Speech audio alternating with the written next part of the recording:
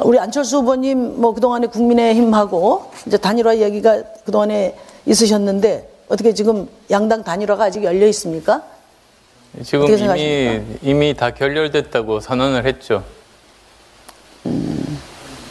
뭐 앞으로 뭐 더 추진될 가능성이 별로 없습니까? 윤석열 후보님? 뭐, 뭐이 자리에서 말씀드리긴 뭐하지만 뭐 저희도 노력하고 있습니다. 네.